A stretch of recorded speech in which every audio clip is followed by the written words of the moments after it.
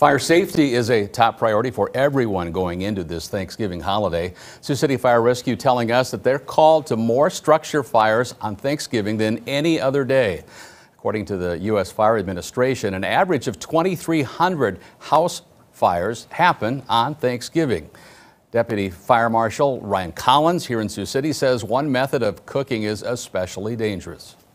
Uh, Sioux City Fire Rescue strongly discourages the use of turkey fire, fires, and I think the fire service in general uh, discourages their use, uh, simply because they they have the potential of going very bad very quickly.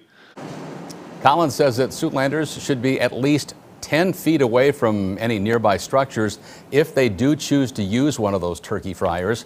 For more safety tips this Thanksgiving, just visit our website. We have several listed at SiouxlandProud.com.